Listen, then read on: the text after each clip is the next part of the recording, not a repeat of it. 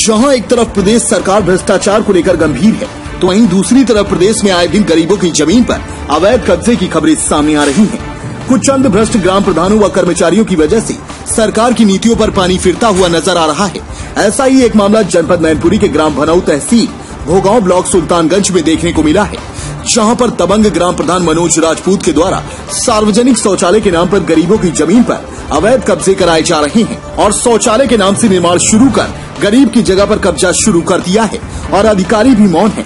गरीब की भूमि पर दबंग ग्राम प्रधान मनोज राजपूत द्वारा अवैध निर्माण कार्य करके शौचालय बनवाया जा रहा है। वहाँ शौचालय बनवाने का कार्य किया जा रहा है, जिसके चलते पीड़ित श्रीपाल, पुत्र स्वर्गीय तुलसीराम के परिवार में खासा आक्रोश व्याप्त है। मैनपुरी पुलिस अधीक्षक अजय कुमार को दिए गए शिकायती पत्र में पीड़ित ने ग्राम प्रधान पर गंभीर आरोप भी लगाए हैं।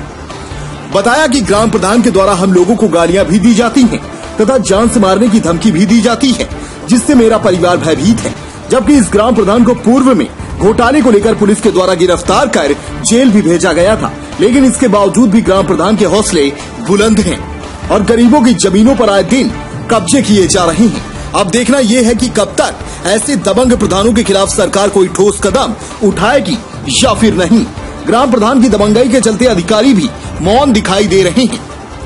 आखिरकार ये सफ़ेद पोष किसके संरक्षण में ऐसे कार्य कर रहे हैं? और क्यों सरकार मौन है? क्यों ऐसे भ्रष्टाचारियों के खिलाफ कार्यवाही नहीं की जा रही है? नाम है आपका? सुखवीर कप्तान साहब के पास किस समस्या को लेकर आए हैं? हम रुकवाने के लिए शौचालय रुकवाने के लिए आए हैं सर। पूरा मामला क्या है? जैसे मतलब हमारी ज़मीन पे रोक में कब्जा कर रहे हैं कब्जा कर रहे हैं। कौन कर रहा है कब्जा? मनोज श्री मनोज कुमार। क्या है वो? प्रधान है इस समय। तो आपकी ज़मीन पे कब्जा कर रहे हैं? हाँ।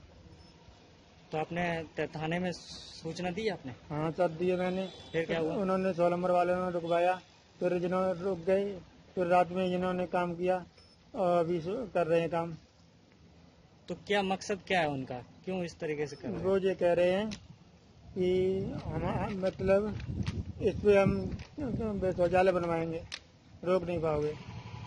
मतलब तुम्हारी ज़मीन है वो खुद शौचालय बनाएँगे उस पर आप एसपी साहब के पास आए हैं क्या बताया उन्होंने? कप्तान साहब के पास तहरीर देने के लिए आज आए आप हाँ। क्या कहा उन्होंने? हमें जाँच करा, कराएँगे। नमस्कार मैं हूँ अंशु शर्मा और हमें उम्मीद है कि आपको ये वीडियो ज़रूर पसंद आया होगा। ऐसे ही बाकी वीडियो देखने के लिए देखते रहिए द इंडियन समाचार और वीडियोस पसंद आने पर हमारे चैनल द इंडियन समाचार को लाइक शेयर और सब्सक्राइब करना ना भूलें।